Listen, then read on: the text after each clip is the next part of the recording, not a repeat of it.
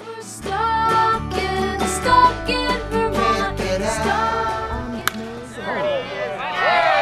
Welcome to Stuck in Vermont, brought to you by Seven Days. My name is Eva Sollberger. We're here at Shea Stadium at Rock Point School in Burlington, Vermont for Wiffle Fest. Wiffle Fest!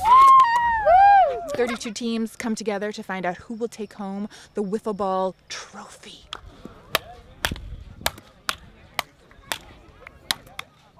They've been doing this for 12 years. People come from all over the place young, old, male, female. Anyone can play wiffle ball. We are the dirtbags. Our the team is Bean the Eaters. Bean Eaters. Oh, nice pitch.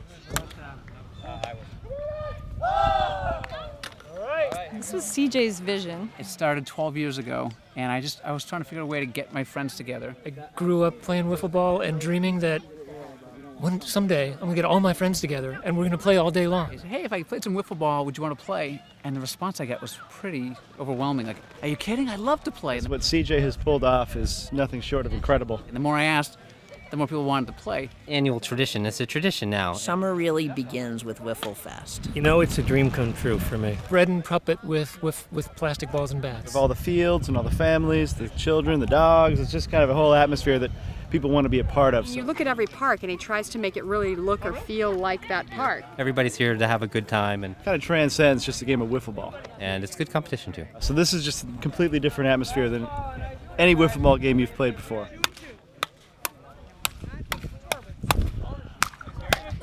And wiffle ball can have infinite number of rules, and people play different ways. So the rules that we play are the ones I grew up with. Two person teams, Uh, you don't run, you hit for distance. So like imaginary people on the bases. two outs an inning, three innings a game. Four balls, three strikes. There's a chair over here. You hit the arms or the seat or the back. It's a strike. If you miss it, it's a ball. The lawn chair umpires, you know. It's ingenious. If you win four games, they're in the World Series. So you have to win five to win it all. I love wiffle ball because uh, It's really fun. It's a good old man's game. But Wiffle Ball is the great leveler. It's a leisure activity. The stuff that I love doing is pitching and fielding and hitting, and that's what wiffle ball is. the competition, the movement of the ball, it's so so much different than, than other baseballs. Competitive and it's easy to hit home runs, so. So, sometimes it's easy Yeah, to hit. sometimes it's. And I kind of like the two people against two people because you get to talk a lot. Because I grew up playing baseball, so it's a chance to be a kid again. I've just been playing all my life. Well, we're all baseball guys. We love that, but it's really the community piece that brings us back every year.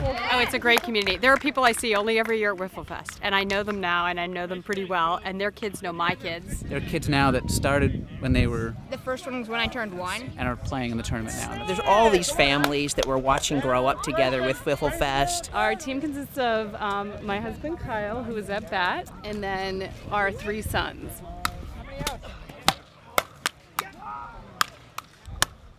But everybody can play wiffle ball. So you see children playing with their parents and uh, husbands and wives. I'm hoping to be able to play with not only my sons, but my grandson who was just born. So you can do that in wiffle ball. Everyone can hit a home run. Everyone can pitch a wiffle ball. You can make a curveball the first time you touch a wiffle ball. Many of us really like to win, so we like to we play compete hard. Yeah, the bug, the competitive bug. Yeah, it seems like some teams take it pretty seriously. Um, ours is not one of those.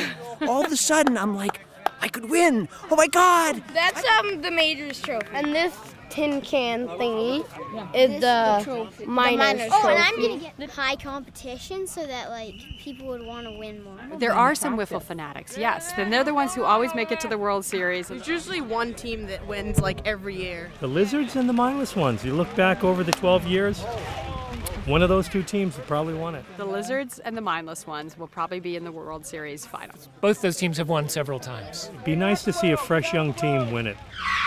I'm going on to the winner's circle. Who knew? We'll